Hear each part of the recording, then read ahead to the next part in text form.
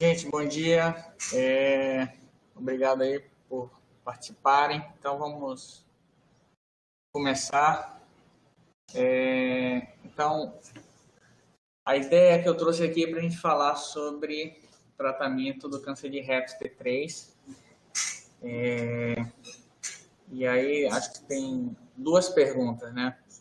Devemos tratar todos da mesma forma? É possível tratar um câncer de reto T3 sem radioterapia? Então, eu trouxe algumas reflexões aqui para a gente pensar sobre o assunto e, eu trouxe o que, é que a gente tem na literatura para a gente é, se basear no, nesse tratamento. Né? Então, a gente sabe que essa publicação em 2004 do Sauer foi uma publicação que mudou o tratamento do câncer de reto e a partir dela é, a gente começou a utilizar neoadjuvância com radioquimioterapia como um tratamento padrão para o câncer de reto extraperitoneal, aquele que está abaixo da reflexão peritoneal. Então, esse, esse é o tratamento que virou padrão ouro para lesões acima de T3 ou N positivo, né? Porque essa estratégia se mostrou é, reduzir bastante a, a recidiva local e, e o resultado era melhor do que a, a adjuvância, né? E aí, é, a neoadjuvância, a gente sabe que é o padrão há muito tempo, esse ano nós tivemos vários estudos na, na ASCO do, é, desse ano, né? pelo menos três, e trouxeram muitas novidades em relação ao tratamento neoadjuvante.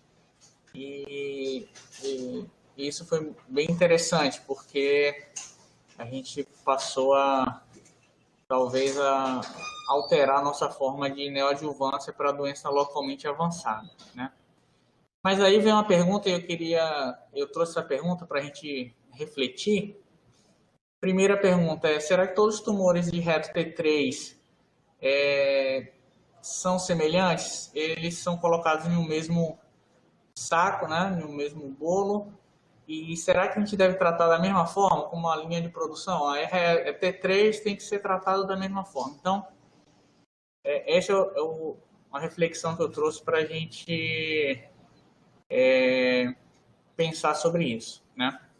Então, se a gente vai olhar o NCCN, a gente vai observar que é, o guideline considera qualquer tumor de reto T3, é, N, qualquer N, né?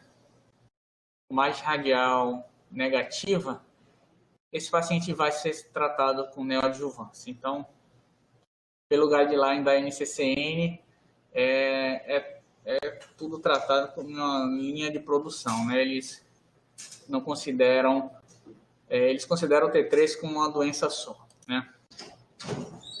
E aí, é, eu trouxe o dado desse, desse estudo, do Dutch Trial, que é um, foi um estudo bem interessante, que comparou neoadjuvância com cirurgia, né, utilizando short course, é, comparado com cirurgia isolada, e a gente nota no, no, nesse trabalho que é, os pacientes no estádio 2 não tiveram benefício com acréscimo da radioterapia. Né? E aí, então, vem essa, é, esse questionamento. Né? Então, esse é o primeiro questionamento que eu trago aqui. É, estádio 2, ou seja, T3N0, nesse estudo não mostrou é, que é um estudo clássico, né, é, mostrando o benefício da neoadjuvância. Para esse subgrupo de pacientes, é, estadio 2 não houve benefício da radioterapia.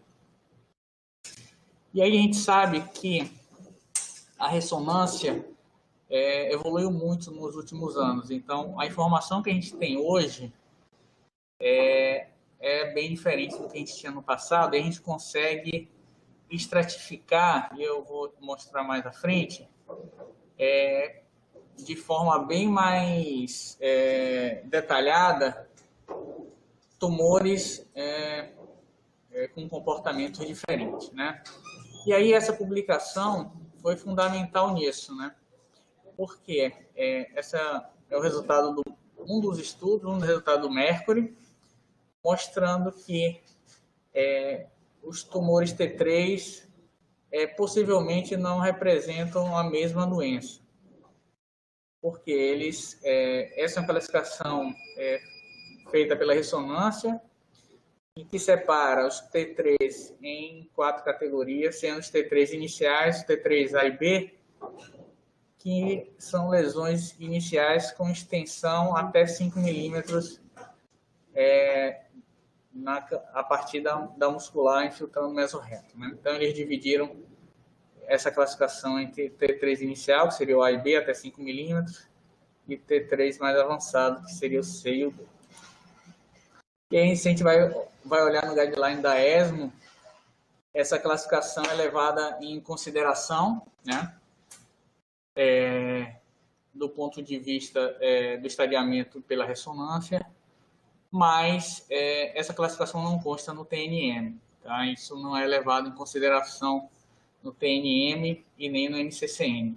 Mas é, o guideline é, europeu né, leva em consideração não só o tipo de T3, que eles realmente consideram é, doenças diferentes e comportamentos diferentes, eu vou falar mais à frente, mas, além disso, estratificam eh, como fatores prognósticos linfonodos, localização do tumor, se o tumor de reto inferior, prognóstico é pior, margem radial comprometida ou não, se tem invasão venosa, extramural e a qualidade da excisão do TME pelo cirurgião. Né? Então, é, e, isso me parece muito mais racional. Né? É, eles estratificam é, tumores de reto de acordo com o grupo de risco, né? Se um, é um risco baixo, se é um risco médio, risco alto, é, de não só doença de recidiva local, mas de possibilidade de doença metastática. Né? Então, essa questão que eu trago, ou seja, é, a gente sabe que aparentemente as lesões T3 não são a mesma doença, né? E será que a gente deve tratar todos da mesma forma? Ou a gente deve individualizar é, o tratamento, né? Então, é, é a mesma coisa, e analogia é a mesma coisa de querer oferecer a mesma roupa para biotipos diferentes, né? Ou seja, a gente vai subtratar uns pacientes e vai supertratar outros, né? Se a gente seguir essa linha de produção de tratar todos da mesma forma, né? E aí, se a gente for olhar o guideline é, europeu, dá para aumentar? Se a, gente, se a gente for olhar o guideline europeu, a gente vai ver que as lesões T3A, T3B, reto médio ou reto alto, é, é, sem, sem nifonodo, né? Sem invasão venosa, com margem radial livre. Se for nenhum, só for reto alto, esse é considerado uma doença ah, inicial e o tratamento é cirurgia é, upfront, né? Cirurgia direta. Para o grupo intermediário, que é o reto, é, tumor de reto 3A, muito baixo, com margem livre, é, é, sem comprometimento do esfíncter. Então, T3A, T3B, reto médio, reto alto, mesmo N1, N2, sem invasão venosa, eles consideram tanto a cirurgia upfront quanto neoadjuvância, seja short course, seja é, tratamento padrão, tá? Sendo que é, indicado uma cirurgia upfront é desde que é, o cirurgião tenha a, a garantia de que vai fazer uma cirurgia adequada e essa cirurgia tenha uma auditoria da peça, tá? Ou seja, eles, eles pedem foto, é o que a gente faz aqui, na verdade, né? Todas as peças são fotografadas e o espécime é preparado baseado no, no protocolo de, de Quick, né?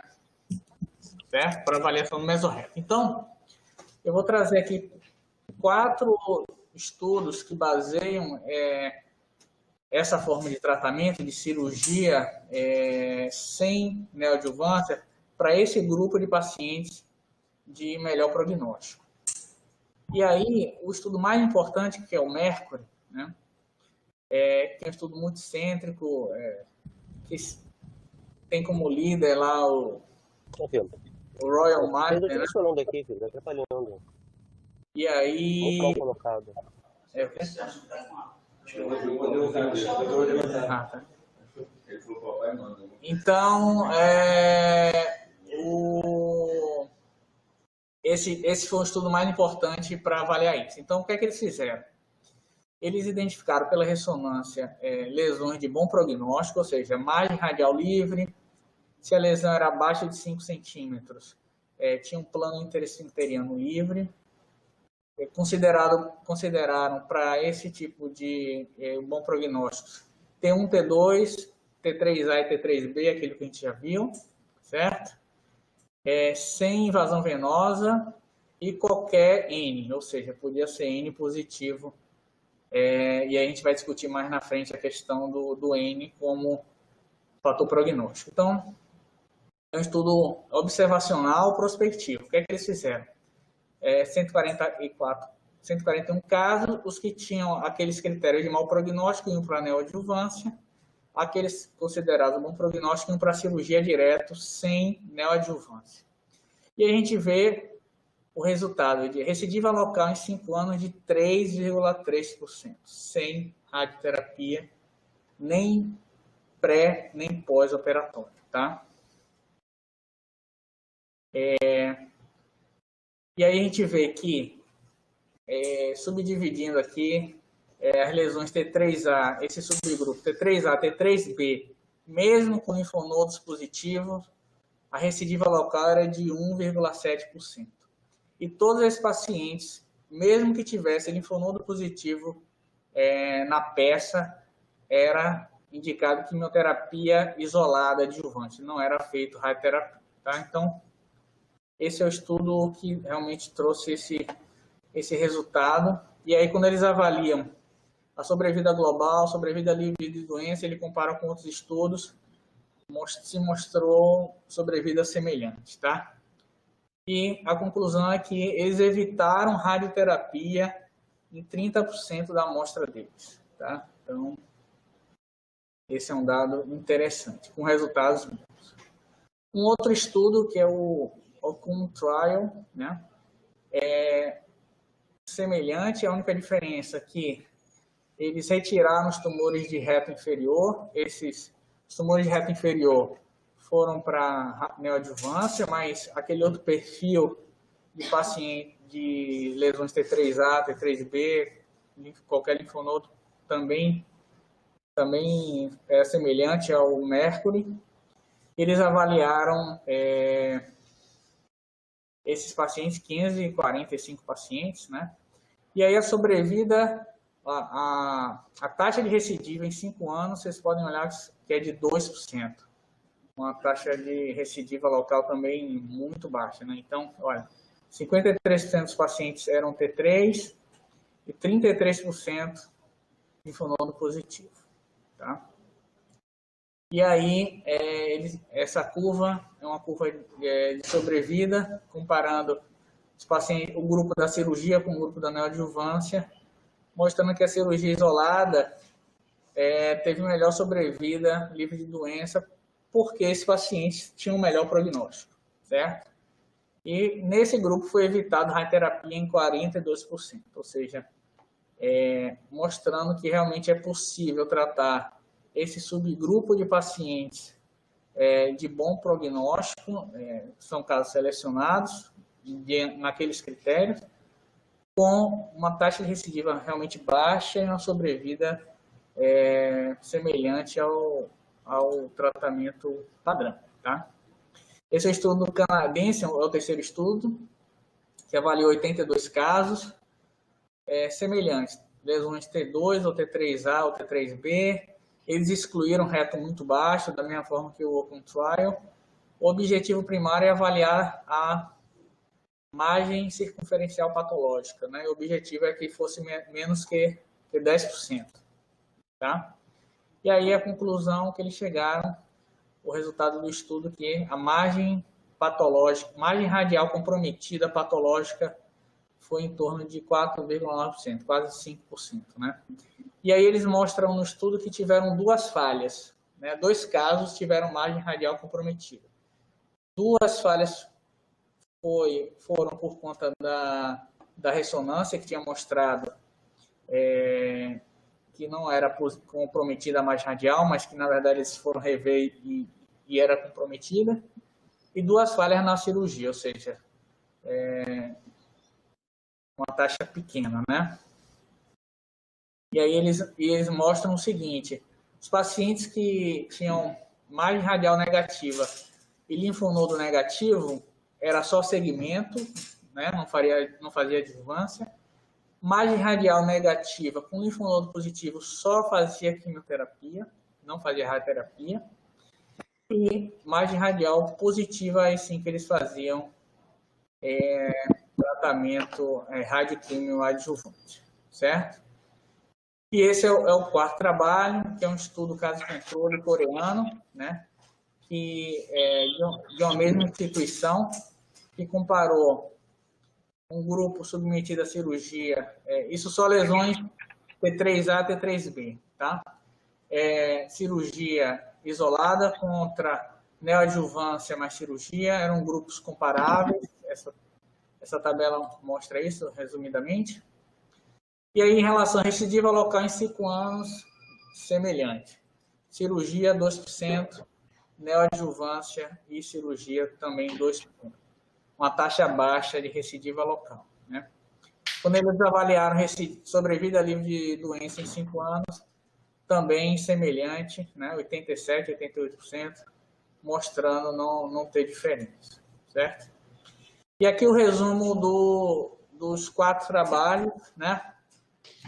Mostrando que é, lesões, é, estádio 2 e 3, aqueles casos considerados de bom prognóstico eram a maioria dos é, da casuística, né? É, linfonodo positivo em 1 e N2, vocês vejam que era em torno de 30% dos trabalhos, né?